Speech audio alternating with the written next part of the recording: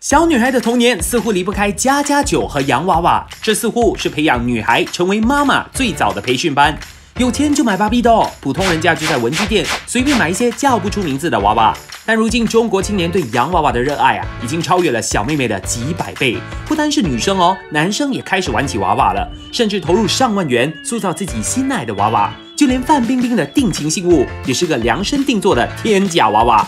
为啥那么贵呢？小编只能说一句：娃猛听！中国景点。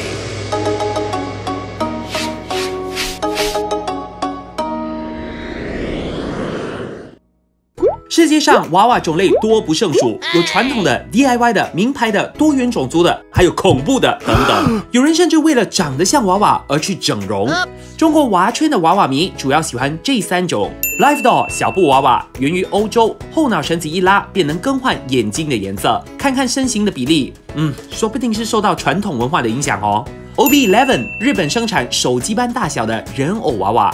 体积虽小，但十分精致。而最受欢迎的就是 BJD，BJD 娃娃也是三种当中最像人的娃娃，不止长得像，动作也相似。哼，看到眨眼的话，千万不要告诉我哦。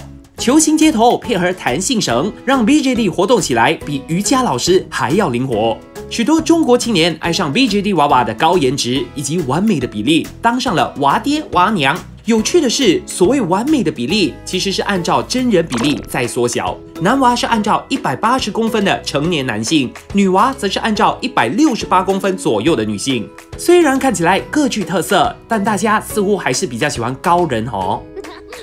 所谓生儿容易养儿难，娃圈最烧钱的原因是父母都想给孩子最好的。赤裸的精致 BJD 娃娃就从四百到六百新币起跳。买完娃娃还要为娃娃买一对漂亮的眼珠，限量的能卖到一百六十块钱。有了眼珠还要买衣服，一套四十到一百六十块钱。而且你舍得让孩子天天只穿一套衣服吗？穿上了新衣还得化化妆，知名的妆娘价码是从上千元起跳的。看到这里，小编穷醒了。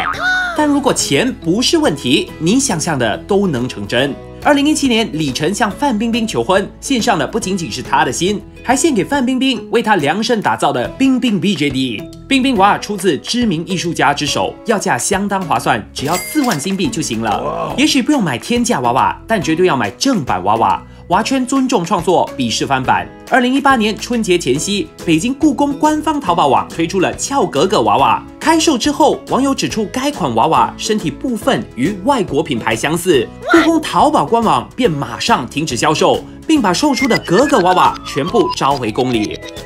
无论贵贱，娃娃都带给许多独身以及空巢青年无价的陪伴。各花入各眼，什么都有人当宝啦，晚上不要出来跑就好。